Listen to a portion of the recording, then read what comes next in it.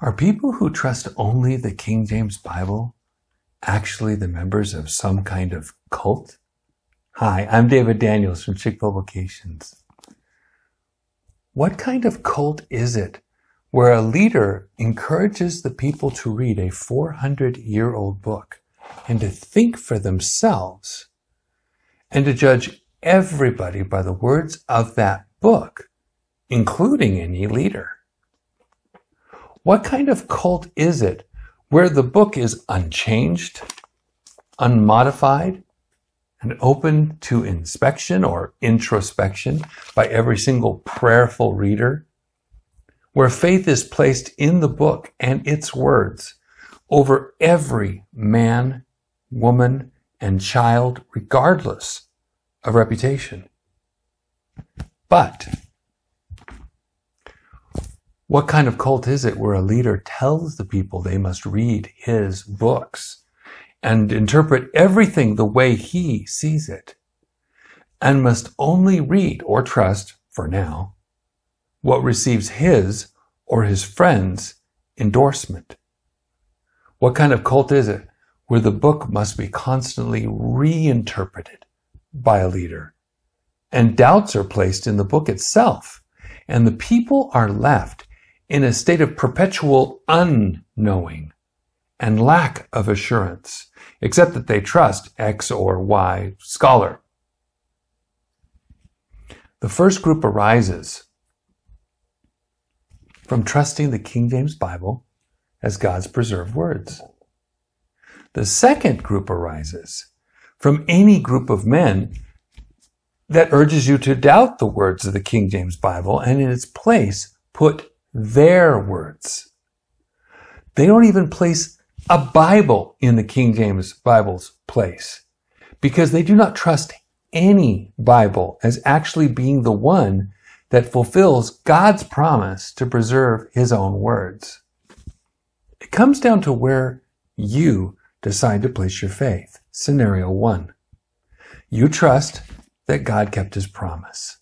And he preserved his words in a book that you can hold in your hands. And you place your faith in his book. And you doubt everyone else, including yourself, in comparison to his words.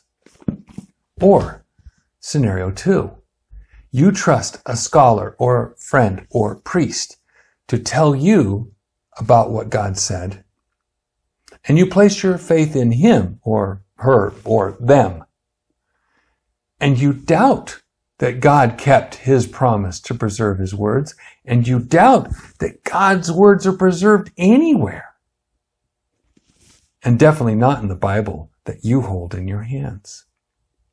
I've been in cults and religions. The closest thing to trusting the scholars over the King James or, or any Bible is Mormonism.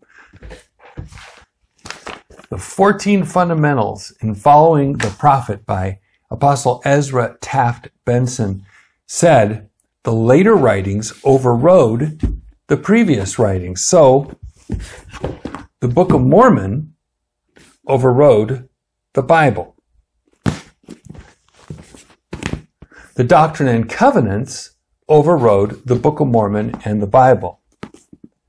The Pearl of Great Price overrode the Doctrine and Covenants, the Book of Mormon, and the Bible.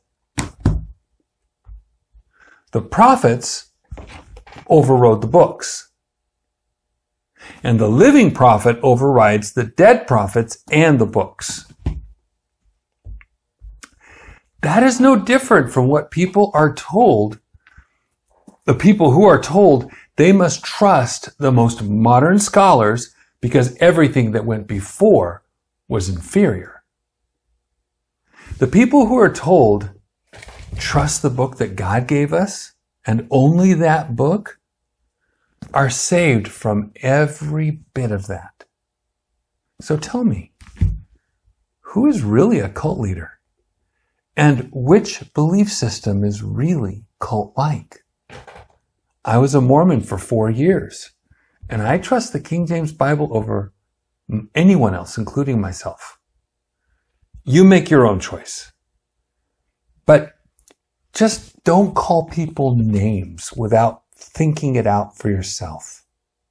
Because merely repeating another's words is rather cult like, don't you think? God bless you and have a wonderful day.